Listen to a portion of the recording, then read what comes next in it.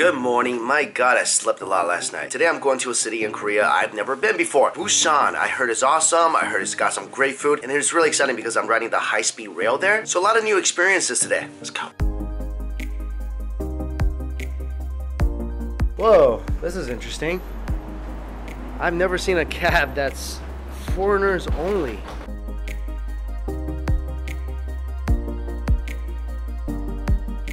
Welcome to Seoul Station. I love going on trains in different countries. So, so far I've went on the high-speed train in Taiwan, in Japan, and now Korea. But before I get on this train, I, I need some essentials.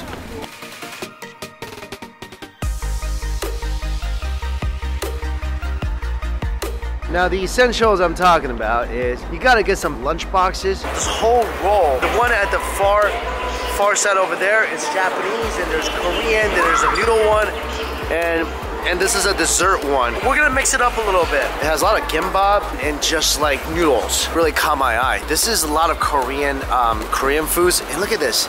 Look at the size of these rice balls. That's massive. I thought they just like shipped this from somewhere, but they actually cook everything. That's pretty cool.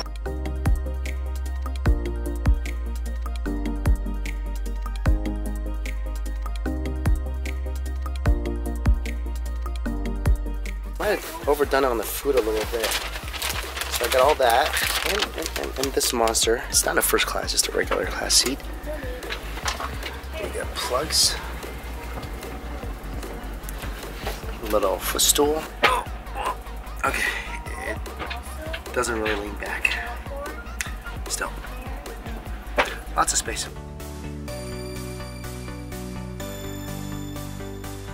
on the high-speed train to Busan, three-hour train ride. I need a lunchbox for every single hour, so three lunch boxes. This one is like a massive rice ball, and inside it looks like, uh, I don't know, I think it's some kind of kimchi or it looks like some kind of meats inside. Inside is pork, really spicy. Mm. Really flavorful, but the rice itself, even just eating that, that's really good.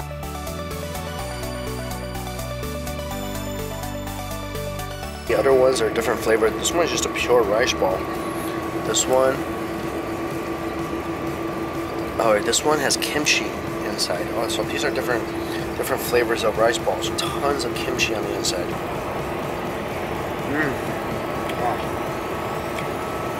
Man, this is really good. The rice, first of all, not overly sticky. It's such a fragrant flavor from the seaweed. No way did I ever imagine it would be as flavorful as this. Because there's so much rice, I didn't see much filling, so I figured this thing was kind of dry, kind of, kind of under seasoned. Not at all. Oh, awesome. So it's all kind of mixed together now.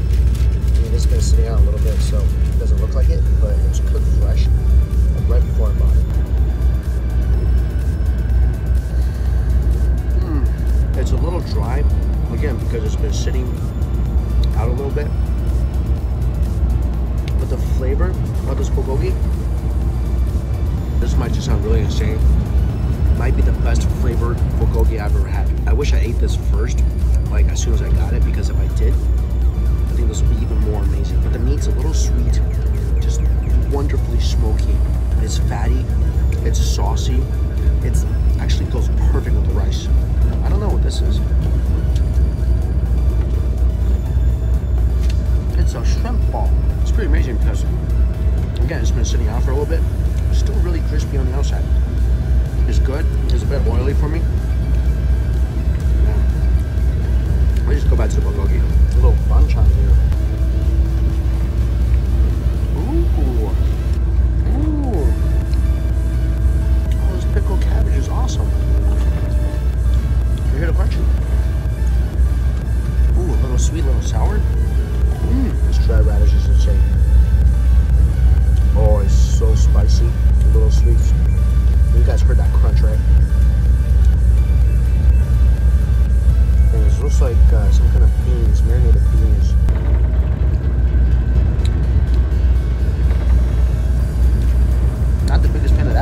This is really fun. Check this out.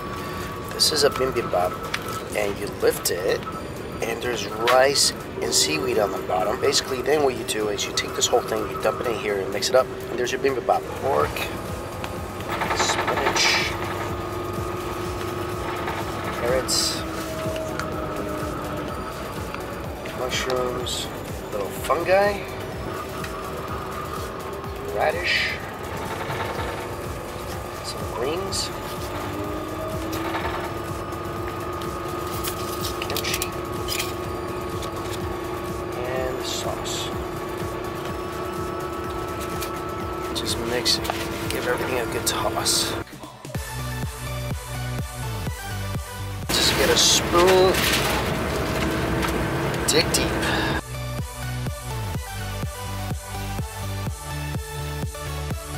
Everything is fresh. Sauce is good. A little spicy, a little sweet.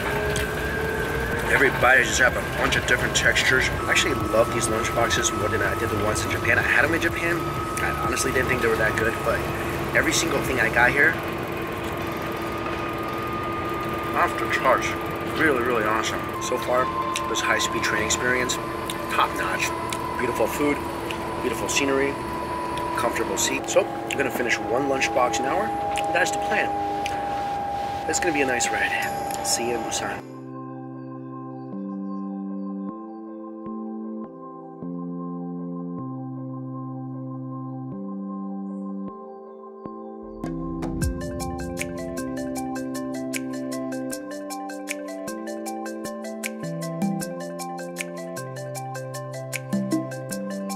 Um, staying at the Lotte Hotel, you know, that supermarket. I didn't know they had hotels. So a little bit of drama. I left my backpack on the train.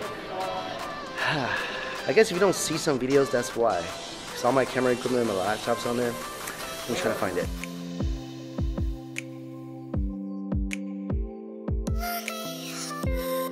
Okay, I, I love Korea. I love Koreans. They found my bag and it's it's fine. So I just gotta go back and pick it up. That would have been really bad. Oh, my camera, my laptop, everything's in there. That would have not been so good. Oh, thank you. Wow. Mm. Thank you. What a beautiful view. Look at that. It's pretty cool. Look at this. Never seen this before. So you can actually have fresh air from the outside. Big room, double beds. Love, love this view. I think the sunset's gonna be awesome from here. Some hills. I think that's a really cool, uh, culturally significant neighborhood. Emergency button in case, you know, someone attacks you. Bathroom, automatic toilet, always welcome. I did not know like Lotte made hotels, but this is a really nice, it's supposed to be a five-star hotel. There's a casino attached to this place, as well as a Lotte store. Ooh, just had the spiciest fish broth and fish cake at this place here. Oh, that's good. Look for that guy. Oh, that's awesome. I'm feeling so good right now.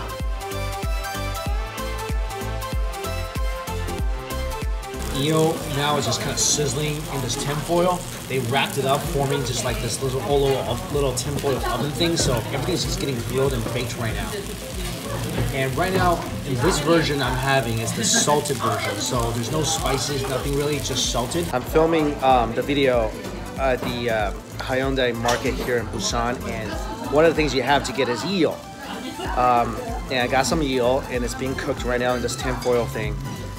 And uh, oh my god, it was. the eel was, well, they skinned the eel, but the eel was still alive. And it's sitting on this hot plate, and it's just squig, like just moving around like crazy. All I gotta say is, do not reincarnate as a eel. That's really important. This is actually hagfish. Apparently the difference is hagfish has no bones, it has no eyes, so you can just eat this without any like any fear of bones getting a bone stuck in your throat or anything. And it lives in the ocean way deeper than the eel. And this is ready to eat right now. Um, and they cooked it with a little bit of onions, a little bit of chili, scallions. Man, I just can't get that vision of this thing swiggling around out of my head. Wow, that first bite of uh, hagfish, I did not expect that whole thing to kind of taste like a cartilage, like a crunchy cartilage. that shocked me a little bit. Um, actually, the flavor is pretty good. I think for me, it's like a psychological thing. Man, just seeing it all twisting on, on the hot plate. I think it tastes pretty good. I don't think I'll ever like, you know, crave it, but it's good. Last full day in Busan. Stop by for some pastries for breakfast before the real food begins. Tiramisu croissant and whatever this is, like a circly crop circle looking thing. So on top, ooh, really soft cream. Mmm, yum. I'm just gonna cut a piece. There we go.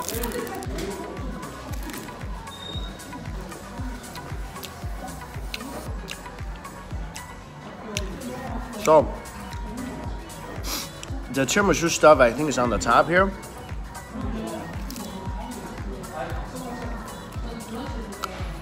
It literally tastes like eating a chocolate covered croissant, a really good chocolate covered croissant with a tiramisu sitting on top of it. Look at this thing. This thing is all sorts of flaky. Oh my good lord, look at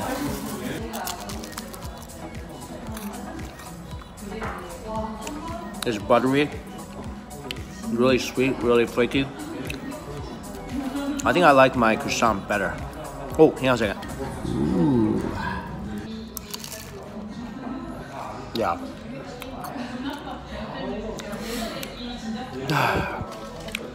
that was deliciously satisfying. Here it is, my box of seafood. This is just glorious. Lobster, never had this before, but this is called fan shrimp, with good reason, I guess. Clams, prawns, oysters. Oh, just beautiful. This guy's not feeling very well. Oh, oh, oh, that's, oh, you, you weren't feeling well at all, were you? he pooped. I, I, now I'm gonna eat, this is just so, uh,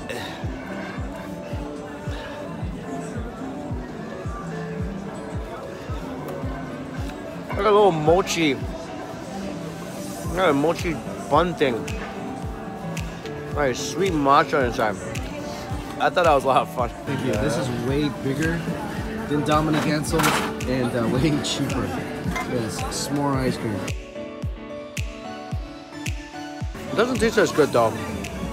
Actually, I don't know, about the same. I saw a guy selling fireworks. Then I walk on a beach. He says, go shoot on the beach. So I'm on the beach and I see the sign says, no fireworks. So I go back, I'm like, hey, there's no fireworks. And he says, no, it's okay. Just go ahead and shoot it. And he says he's gonna take responsibility if I get caught or I get fined. Um, so I'm gonna go shoot it and let's see what happens.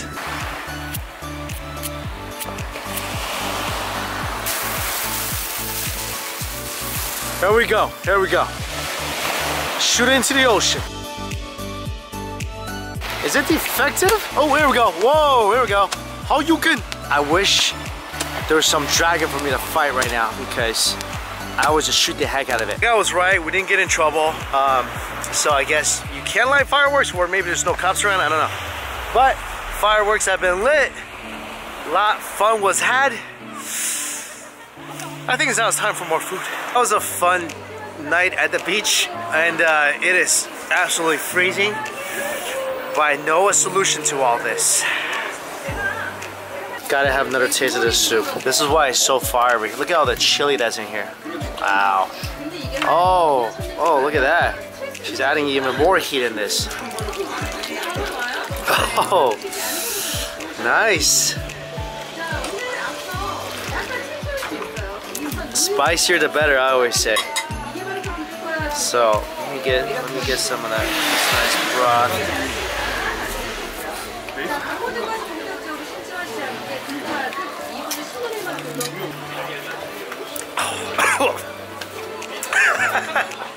This is some of the best broth I've had. It, I've had this time in Korea. That is so awesome. Mm. Half a cup. I'm warmed up. I feel good enough to go swimming in the ocean right now. But I think next up, let's go get some steak. I'm still thinking about that broth and how good it was. Why, why can't that be like a hot pot broth? That would just be amazing. So this is the place my cab driver told me that I must go to while here in Busan. And they serve hanwoo, which of course is Korean beef. And check this out. They only have a three. They only have three items on their menu: fresh beef ribs, spicy beef ribs, and bulgogi. And it's 6:30, and this is already sold out. So only thing they have is spicy beef ribs. But I guess lucky for me, they told me that's actually what they're known for. And the wait right now it's 50 minutes. I mean, you can tell this is a really popular place. Um, the entrance, the building looks really traditional. By the way, uh, this restaurant is called Female Cow. It, it's are all cow girls? Uh, I don't know. Finally, my turn. After about an hour and a half wait, the is full of smoke, so I get to smell like hummus for a while. Score! Actually, I'm really happy about that. Seriously, I this is this is a great scent for me. It is. Fire is here. Get nice and toasty. Beautiful banchan. Oh, the meat is here. Go. The grill, you see the shape of the grill? Like all the grease is gonna just gonna form at the bottom. And there's wood charcoal on the inside. Look at the fat on this piece of beef here. Look at this. See all this juice just oozing out of it? Right there? Look at it. Look at it. Squeezing it. You guys see this? Oh good lord, it's like a fatty waterfall. And they separate this so it cooks like in minutes. So she's taking the meat off my grill because something else spectacular is gonna go on. Not as spectacular as the meat itself, but some noodles and soy sauce is going on the grill.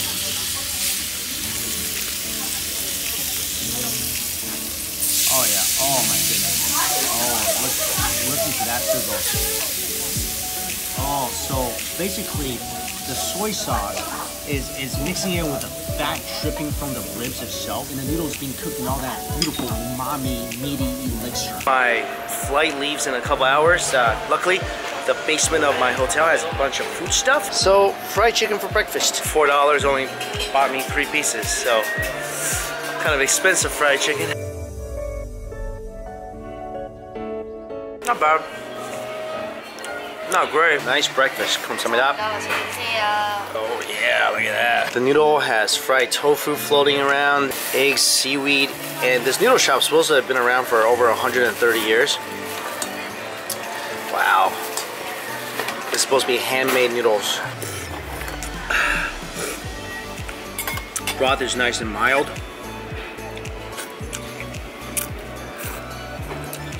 Mmm. I like the texture of these thin noodles. Although they're really thin, they're quite chewy. Bulgogi looks nice. Mm. Tender and smoky. Mm.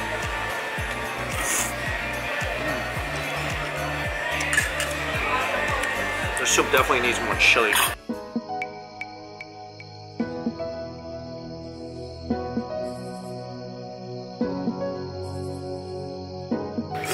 Mmm much, much better. Make a little sam with the bulgogi.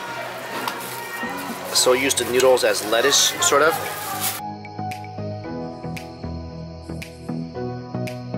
Awesome. Got these dumplings too. I think there's a kim massive kimchi dumpling. Korean dumplings, a lot of it. Mm, I love this. Man, that crunch got to me. That crunch and the spiciness got to me. This is excellent. A lot of Korean dumplings, I feel that meat is minced so finely that it becomes almost like a paste. So that texture I'm not really used to. But this, this kimchi, it's got a nice crunch, got a nice bite. That was really good. I'm gonna dip it in the soup a little bit. Oh yeah, there you go. That was a kimchi soup dumpling. Never had a dumpling with a shrimp tail sticking out of it.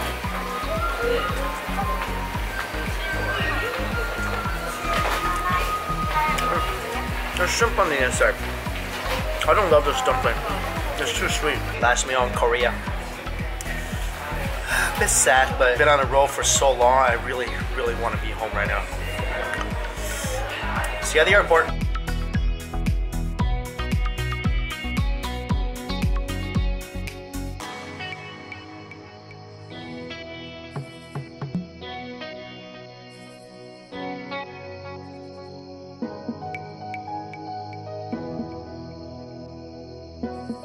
I am flying Japan Airlines economy. I'm stuck in the middle seat from here to Japan, but thankfully got an aisle seat all the way back to New York. Every time I travel through Japan, I just get this aching feeling like I want to stay because I love this place so much. I'm gonna be back real soon. I think this is Sakura Matcha Kit Kat. It's also dinner. It smells like spring. Matcha and Sakura. That's a good Kit Kat. Hmm. They weren't joking. This actually does have a really calming aroma. I love Japanese snacks. It's seriously, the best stuff in the world.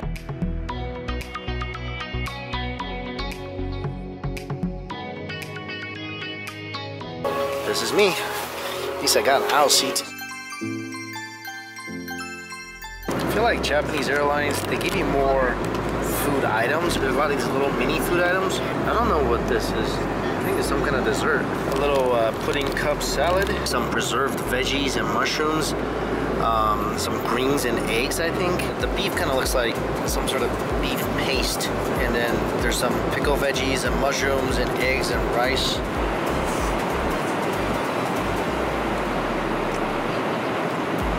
That tastes way better. That beef is actually quite delicious. Some kind of pudding looking thing.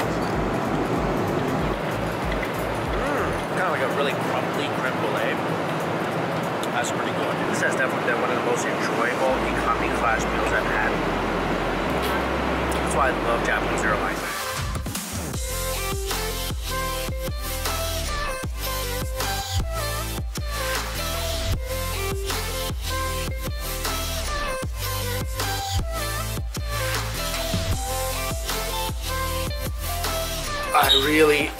this Sheraton Hotel because it always reminds me of uh, kind of like going into a museum. Guys, you have no idea how good it feels to be back in New York. Wow, this is probably my longest trip that I've ever taken in my life. And I wish I could go home tonight, but I'm filming with the Food Network tomorrow here in Flushing, so I'm gonna stay the night here, uh, film tomorrow, and then head back tomorrow night. And I just wanna say, I flew a lot of airlines on this trip, EVA, AirAsia, um, Japan Airlines. I felt like, although Japan Airlines planes are, are really old, it seems like every time I fly them, but their service and food is just fantastic. Like, even though I'm sitting in economy, I could feel how nice they were, how helpful the flight attendants were, which is kind of a contrast to EVA Airlines, where you kind of feel like their flight attendant were, were kind of mean. EVA's food wasn't that good, although their planes are nice. So if you had to choose between a Japanese airline like ANA or JAL, I would definitely choose that over a Taiwan airline. Also, AirAsia, I mean, it's a discount airline. What do you expect? It's, it's cheap. But I feel like their flight attendants are all pretty good. Now that I'm back, it's about 8 o'clock at night. I, I gotta go grab some food and, and then it's off to bed because I slept like one hour on the plane.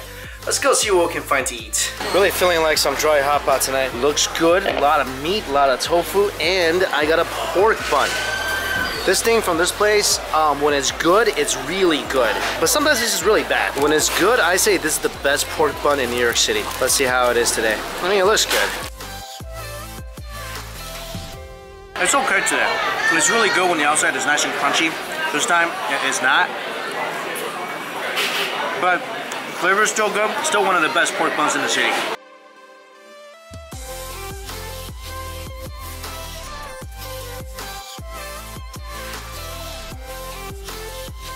I needed something like this tonight. Something a little spicy, a little saucy that goes well with rice. Dip my pork burger. Some of that hot oil here. Oh, look at that. Mm. Now I gotta get some sleep and tomorrow, yeah, it's the Food Network shoot. It's gonna be pretty fun. See you tomorrow.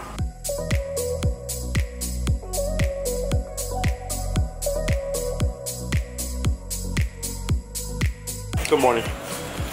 I love pizza for breakfast. Good New York pizza. Mm. I'm about to be on a show called Brooklyn Man. Uh, it's on Food Network Europe, so I'm gonna meet some people at Dumpling Galaxy. And then we're gonna go eat some noodles. We just started done filming Brooklyn Man. Brooklyn Man number six with this guy, Mike, number one knowledge guy for the Chinese cuisine. I'm very impressed. I eat in more than 10,000 restaurants around the world. This guy is my man. Yes. That's a compliment. Yeah, go eat at this guy's restaurant. I'm going to. I'm gonna go check out your restaurant. Very soon. All right. Ciao, guys. thank you. Never so excited to see my house ever in my life. This has been a long, long three weeks, and I'm just so happy to be here. All right, first order of things. It's 7 p.m., so uh, I'm going to bed. Hey, thanks for following along, guys. Good night.